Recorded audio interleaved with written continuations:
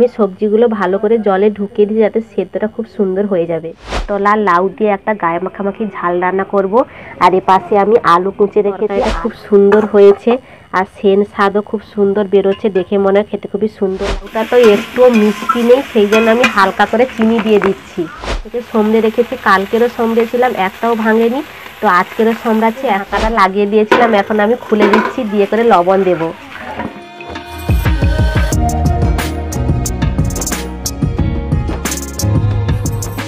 বন্ধুরা, তোমরা সবাই কেমন আছো? কমলা ব্লকে আরও একটা নতুন পর্বে তোমাদের সবাইকে স্বাগত জানাই। আর বন্ধুরা, আমি দুপুরবেলা চান করে রান্না করতে চলে আসলাম। আর আজকের আমি দুপুরে কি কি রান্না বান্না করছি তোমাদের একটু দেখিয়ে দিই। আলু, পটল আর লাউ দিয়ে একটা গায়ে মাখামাখি ঝাল রান্না করব। আর এ পাশে আমি আলু কুচে রেখেছি। আলু আর মাছ দিয়ে ঝাল রান্না করব। তো বন্ধুরা দেখো গামলাতে কি কি মাছ আছে। গামলাতে আছে পাঙ্গাস ট্যাংরা আর আমাদি মাছ আর তার সাথে দুটো পুকুরের মাছ আছে। তো এই মাছগুলো আমি সব একসাথে সমড়ে নেব। আমাদি মাছগুলো এই আলু দিয়ে ঝাল রান্না করব দুপুরে আর পাঙ্গাস ট্যাংরাগুলো রেখে দেবো, সন্ধ্যাতে রান্না করব। আমার ভাত হয়ে গেছে, এখন আমি মাছটা সমড়ে নেব। তো কড়াতে আমি প্রথমে তেল দিয়ে দিচ্ছি।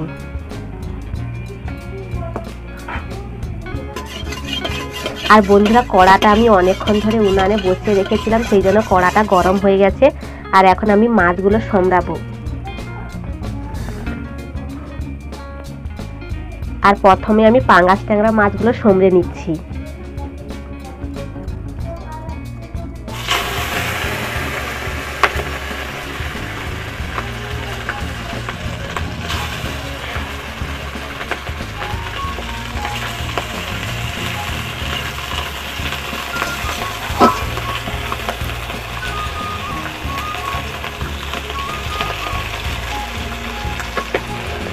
আর বন্ধুরা পাঙ্গাস ট্যাংরা মাছটাকে একটু তেলে সাবধানে সামড়াতে হয়, কারণ তেলে দিলে ও পাঙ্গাস ট্যাংরা ভিতরে তেল থাকে ফাটে তো, সেই জন্য আমি একটু পাঙ্গাস ট্যাংরা মাছটাকে সাবধানে সামড়াবো তো তোমাদের দাদা ভাই কালকে সন্ধ্যাবেলা পাঙ্গাস ট্যাংরা নিয়ে এসেছিল, আর কিছুটা ঝোল করে খেয়েছে, তিন পিস রেখেছি, এগুলো সন্ধ্যাবেলা রান্না করব।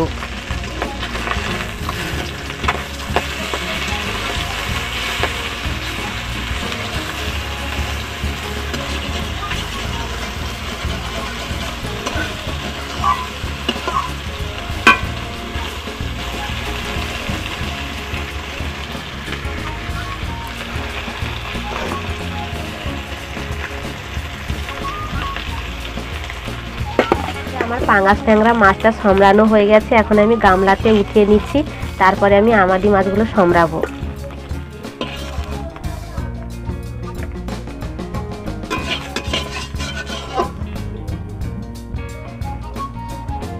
এখন আমি আমাদি মাছগুলো কড়াতে উঠিয়ে দিচ্ছি।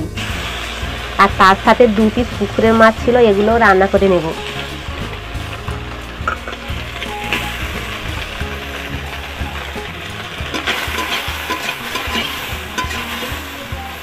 আর বন্ধুরা দেখো আমাদি মাছগুলো কত সুন্দর টাটকা, কত সুন্দর। দেখো, আমি যে সমরাচ্ছি একটাও ভাঙেনি। আমি কাল থেকে সমড়ে রেখেছি, কালকেরও সমড়েছিলাম একটাও ভাঙেনি।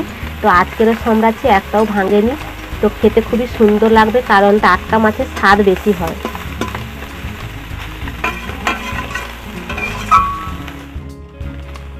আর বন্ধুরা, আমার আমাদি মাছগুলো সমরানো হয়ে গেছে। এখন আমি কড়া থেকে গামলাতে নামিয়ে নিচ্ছি। আমাদের বাড়িতে অনেক দিন ধরে পুকুরের মাছ খাওয়া হয়েছিল, নদীর মাছ একটাও খাওয়া হয়নি, তো শরীর কারুর ভালো ছিল না। তো তোমাদের দাদাভাই কালকে নিয়ে এসেছে, তো আজকের খাওয়া হবে, রান্না করে কালকে কিছুটা খেয়েছি। তো আমার পুরোপুরি সব মাছ সমরানো হয়ে গেছে, এখন আমি আলু, লাউ আর পটল দিয়ে একটা গায়ে মাখামাখি ঝাল রান্না করব। তো ঝালটা রান্না করার জন্য প্রথমে আমি কড়াতে পেঁয়াজ কুচানো দিয়ে দিচ্ছি।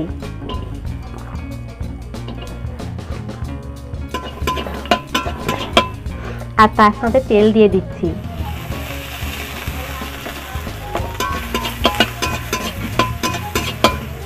আমি পেঁয়াজটা একটু তেলে ভালো করে ভেজে নিই, তারপরে সম্রাট তেজপাতা দেব।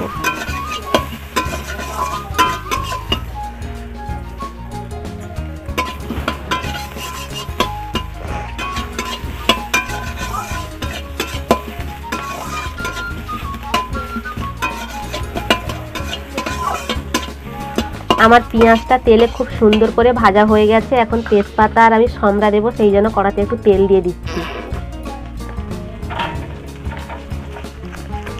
আমি তেজপাতা দিয়ে দিলাম। একটু তেলটা কম হয়ে গেছে, তো কোনো সমস্যা নেই। আমি তার সাথে সমরাও দিয়ে দিচ্ছি।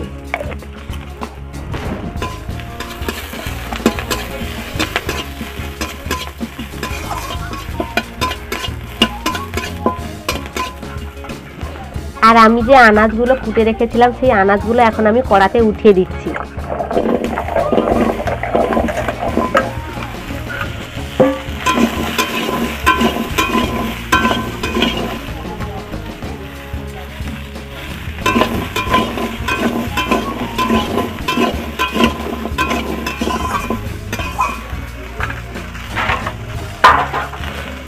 আর বন্ধুরা, এখন আমি কিছুক্ষণের জন্য ঢাকা লাগিয়ে দিচ্ছি। একটু ভাপার, একটু সেদ্ধ হোক, তারপরে আমি লবণ দেব।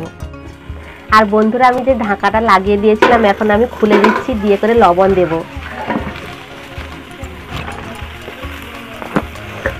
আর এখন আমি পরিমাণ মতো লবণ দিয়ে দিচ্ছি।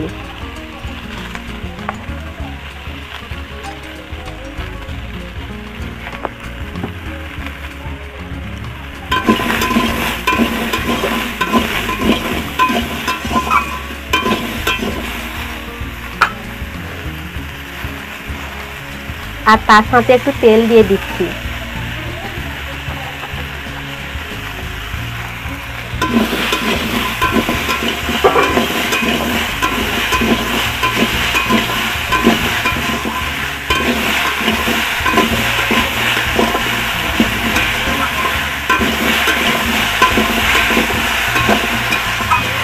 ছোট বোতলে তেল দিয়ে রান্না করি, একটু তেলটা শেষ হয়ে গেছে, তো বড় বোতল থেকে তেলটা আমি গড়িয়ে নেব।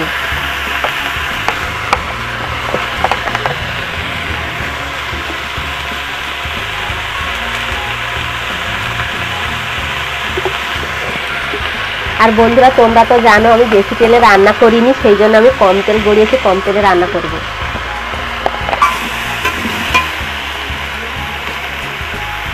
আর লবণ দিয়ে বেশ কিছুক্ষণ নাড়ার পর এখন আমি হলুদ গুঁড়া দিয়ে দিচ্ছি।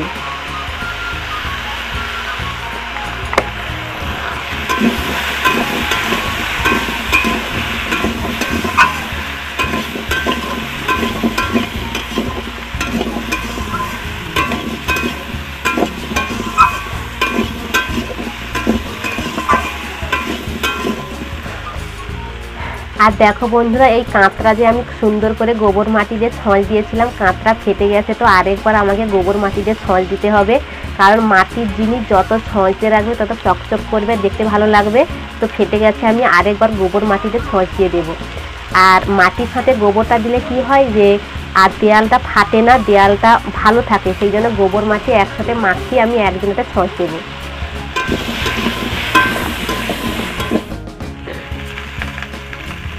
আর বন্ধুরা হলুদ দিয়ে বেশ কিছুক্ষণ লাড়ার পর এখন আমি লঙ্কা গুঁড়ো দিয়ে দিচ্ছি।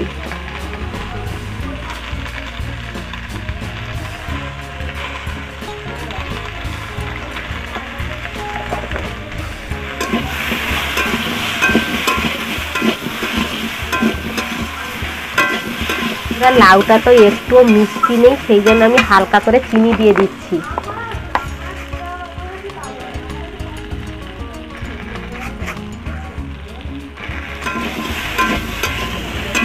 আমি চিনি আর লঙ্কা গুঁড়ো দিয়ে বেশ কিছুক্ষণ লেড়ে নিয়েছি এখন আমি পরিমাণ মতন জল দিয়ে দিচ্ছি।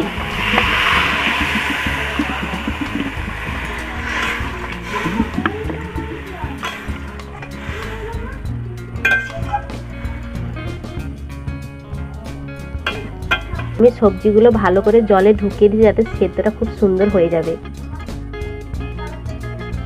এখন আমি তরকারিতে ঢাকা লাগিয়ে দেবো, সেদ্ধ হয়ে গেলে তারপরে আমি তোমাদের তরকারিটা দেখাবো। আর বন্ধুরা, আলু, পটল, লাউ দিয়ে যে তরকারিটা রান্না করেছিলাম, সেই তরকারিটা রান্না হয়ে গেছে। সব শেষে আমি হালকা করে একটু জিরা গুঁড়ো দিয়ে দিচ্ছি। জিরা গুঁড়ো দেওয়ার কারণ হলো সেন স্বাদ লাগবে সেই জন্য।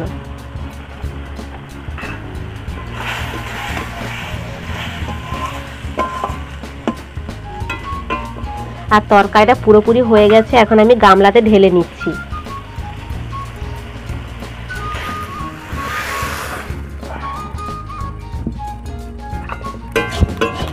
তরকারিটা খুব সুন্দর হয়েছে আর সেন স্বাদও খুব সুন্দর বেরোচ্ছে, দেখে মনে হয় খেতে খুবই সুন্দর লাগবে। তো ভিডিওটা কেমন হয়েছে অবশ্যই কমেন্ট করে বলবে, ভালো লাগলে প্লিজ একটি লাইক সাবস্ক্রাইব করে দিও।